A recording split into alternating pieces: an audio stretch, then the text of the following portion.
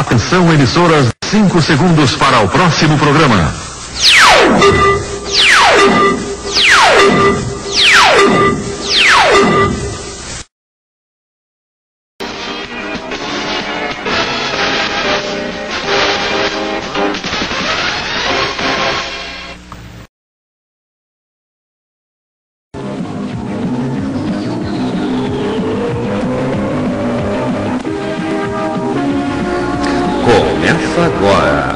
Jornal André Amorim, um jornal cheio de notícias até o fim.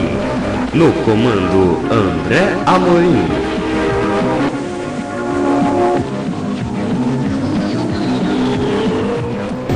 Olá, muito bom dia, boa tarde, boa noite. Brasil! Tudo bem? A partir de agora, Jornal André Amorim, jornal cheio de notícias até o fim, edição 2060 de hoje. Terça-feira, 14 de agosto de 2012, vamos ver para chefe. Na sessão ataque, tricampeão fica careca para pagar promessa. Governo volta a negociar com servidores hoje. Greve começa a recuar. Advogado diz que Lula ordenou mensalão.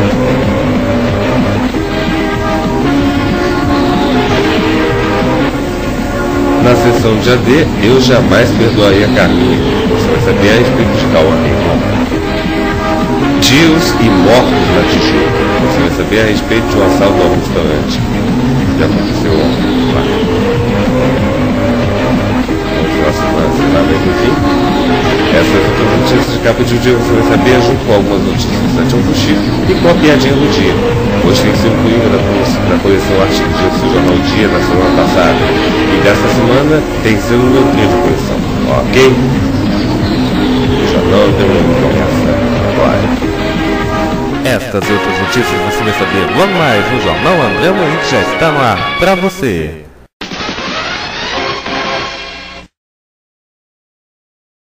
Compre o jornal Dia, como o Rio gosta de ler. Os preços do Jornal Dia são de segunda a sábado, vinte centavos. Isso mesmo, um real e vinte centavos. No domingo, o Jornal Dia custa o dobro, quarenta centavos. Isso mesmo, dois reais e o site de O Dia Online, www.udia.com.br. Repetindo, www.udia.com.br.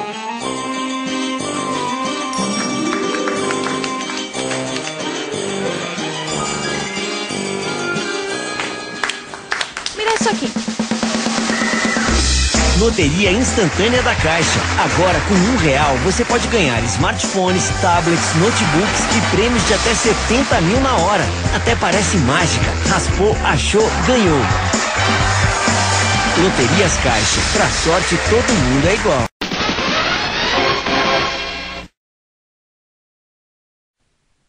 Piadinha. Pai e filho. O pai pergunta ao filho de 10 anos se ele sabe como são feitos os bebês. Não quero saber, responde o menino aos prantos. Prometo que você não vai me contar. Confuso, o pai pergunta sobre é, por que o filho não quer saber. Este soluçando.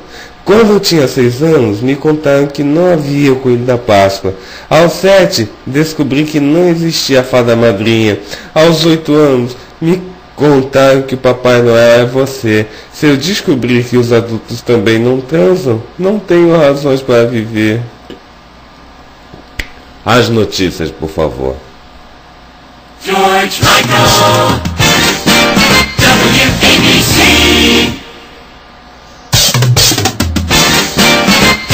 WABC. Jornal André Amorim. Oi, oi, oi. Jornal de notícias até o fim. Aê! E agora, no Jornal André Amorim, a notícia mais quente do dia. Governo volta a negociar com servidores hoje. Greve começa a recuar. Reajustes devem ir de 4% até 45%. Anvisa, Polícia Federal e fiscais agropecuários já programam a retomada desse serviço. Planejamento reitera corte de ponto. Detalhes na página 19 de O Dia.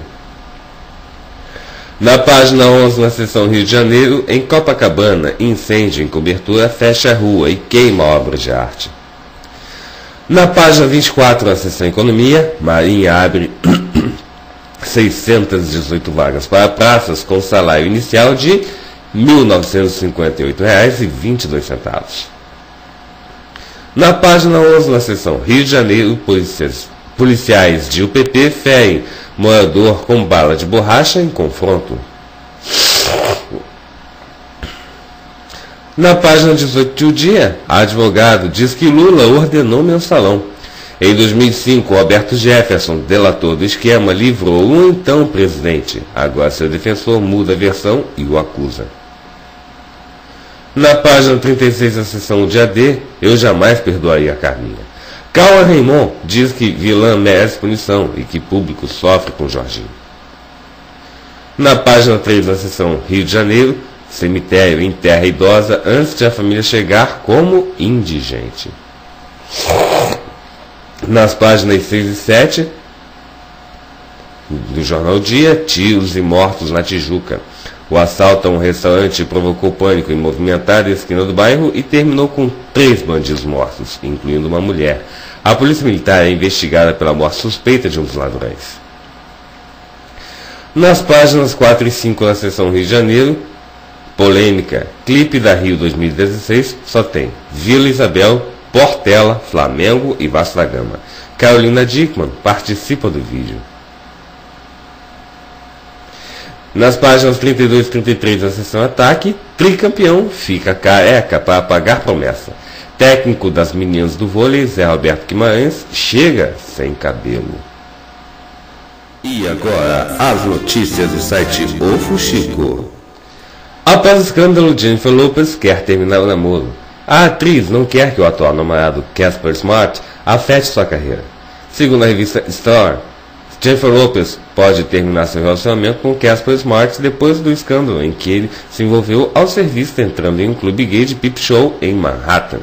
Um representante da cantora disse que o dançarino apenas entrou numa porta do lugar para usar o caixa eletrônico, mas uma garçonete assegura que Smart entrou sim para ver striptease masculino e esteve cerca de 10 minutos observando o local. Uma fonte contou. Jennifer está apaixonada e ficou arrasada com esse flagra. Por isso está pensando em terminar o namoro antes que ele lhe traga mais problemas, disse a publicação. O informante agregou que Lopes escutou o conselho de, algumas de alguns familiares, incluindo sua irmã Linda e sua irmã, e sua irmã, não, de sua irmã Linda e de sua mãe. Agora, ela está reavaliando sua relação, completou a fonte. Após morte do filho, Sylvester Stallone vive novo drama em sua vida. A irmã do ator está hospitalizada, enfrentando um câncer terminal. Sylvester Stallone ainda não supera a trágica morte do filho, segue, e já tem que lidar com um novo drama em sua família. Sua irmã, Tony Ann Felice, está hospitalizada, enfrentando um câncer terminal. Segundo a mãe do ator, Jack, Tony, de 48 anos, piorou seu estado de saúde quando soube da morte do sobrinho.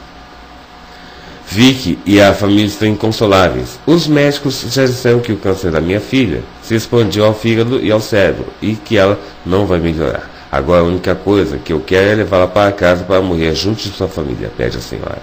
Stallone está arrasado com a situação da irmã. Neuza Borges está decidida. Vou me aposentar. A atriz viverá uma moradora do Morro do Alemão em Salve Jorge antes de parar. Neuza Borges está feliz da vida. Depois de afirmar, meses atrás, que tinha sido dispensado da nova trama de Glória Pérez na Globo por causa de duas passagens aéreas e por em Salvador, ela resolveu o impasse e está confirmadíssima no elenco de Salve Jorge. Neuza já está no Rio de Janeiro junto com o elenco da trama, trazendo as primeiras leituras de texto. A atriz também já está frequentando os workshops ao lado dos colegas que atuarão no núcleo do, do Morro do Alemão, onde sua personagem Dona Viva, ou melhor, Dona Diva, viverá. A Dona Diva sabe de tudo que rola no Morro do Alemão. Começaremos a gravar dia 25, diz Neuza, que para a tristeza dos fãs se despedirá das telinhas. Essa é a minha última novela. São 60 anos de carreira, 40 de Globo e 70 de idade. Depois que sofri o AVC, passei a pensar mais em mim e a me amar mais. Quero cuidar melhor de mim e após abril de 2013, quando acabam as gravações da novela, eu vou me aposentar, decretou. A atriz fez questão de registrar a gratidão que tem pela autora Glória Pérez. Se alguém me ajudou a criar meus filhos, essa foi Glória Pérez. Ela foi meu pai, minha mãe, meu marido, meu tudo nessa vida. Risos. Meu tudo nessa vida. É hora de largar do pé dela, me aposentar e curtir a vida. Só vou querer comer, beber e amar, encerra Nilson. Série de Charles Sheen garante produção de mais de 90 episódios. Anger Management é baseado no filme Tratamento de Choque de 2003. A nova série de Charles Sheen, Anger Management, tem feito tanto sucesso nos Estados Unidos que os executivos do estúdio acabam de confirmar a produção de mais de, no, de mais 90 episódios. Antes do show ir ao ar, havia dúvida de todos os envolvidos se faria sucesso, mas agora que, que vem sendo assistido por quase 3 milhões e meio de telespectadores por semana, a rede de televisão FX tratou de assegurar longa vida ao programa. A FX é a nona rede de televisão mais assistida nos Estados Unidos. O seriado é baseado no filme Tratamento de Choque, de 2003, estrelado por Adam Sandler e Jack Nicholson. No show, Shin interpreta um terapeuta que tem problemas de agressividade, mas que mesmo assim ajuda os outros a controlarem a raiva. O pai de Charlie, Martin Steen, deverá participar da série, interpretando o pai do terapeuta. O personagem do ator veterano não participará de todos os episódios, aparecendo apenas em alguns ao longo de toda a série. Charles Sheen é um conhecedor do assunto, já que foi condenado a frequentar 36 horas de terapia para o controle da raiva, depois de agredir sua ex-esposa Brooke Miller no, no Natal de 2009. Ele também teve de passar 30 dias na reabilitação e mais 30 em liberdade condicional. E agora, a última do Jornal André Morim. E a última do Jornal André Morim, jornal cheio de notícias até o fim. Bruno Galhaço e Giovanna Eubank estão juntos de novo. O ator postou em seu blog um texto. O ator postou em seu blog um texto em que fala da reconciliação do casal. Bruno Galhaço e Giovanna Eubank reataram o casamento. Depois de anunciarem o fim do relacionamento há cerca de dois meses, o ator postou em seu blog neste domingo, dia 12, uma mensagem informando aos fãs e seguidores que os dois estão juntos novamente.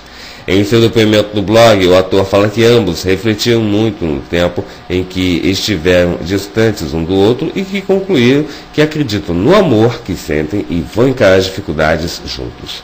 Na ocasião do anúncio da separação, o motivo do rompimento não foi divulgado, apesar de especulações falarem uma possível traição por parte de Galhaço.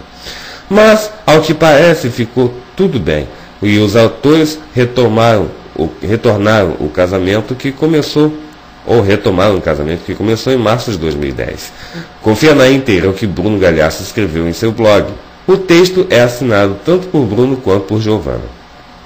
Gostaríamos de compartilhar que depois de um período separados e de grande reflexão de ambos os lados, estamos juntos novamente. Acreditamos no amor que sentimos um pelo outro e queremos passar por todas as dificuldades juntos. Todos erramos, uns mais, outros menos, e vivemos para aprender e crescer com esses erros. Amar é aparar estas, e estamos passando por mais um obstáculo, difícil e doloroso em nossas vidas, mas não impossível. Queremos agradecer a todos que nos apoiaram juntos ou individualmente. Com amor, Bruno e Giovana. É, boa sorte, né? O casal, né? Bruno Galhaço e Giovana Bank. Muito obrigado pela companhia e pela audiência. Jornal Antemorim, edição 2060 de hoje. Terça-feira, 14 de agosto de 2012. Fica por aqui. Um super beijo para vocês. Um forte abraço e até amanhã, se Deus quiser. Tchau, pessoal. A gente se vê por aqui. Melhor dia da vida, pessoal. A cobertura angelical contigo, hein? Assim é. Ah, papai. Fui.